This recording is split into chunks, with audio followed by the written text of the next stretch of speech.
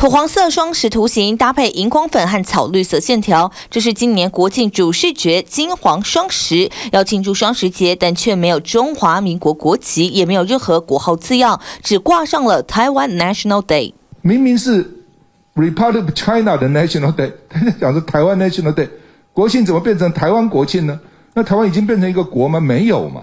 国民党痛批蔡政府故意让国旗国号被消失，可以忽略抹灭历史。还有这件事，速转会公布中正纪念堂转型方案，规划成为反省威权历史公园为主轴，要改造移除园内权威象征，包含移除前总统蒋介石铜像。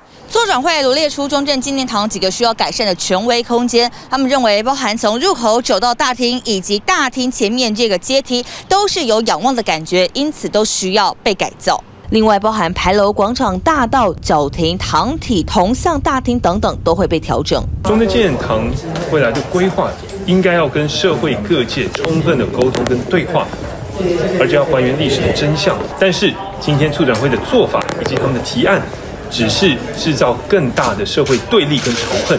蔡政府、民进党执政，促转会积极运作，国民党也深知没有战力真的不行。战斗！战斗！战斗！资深媒体人赵少康因此组成了战斗蓝，号召立委议员来念宣言，不过也被解读是次团。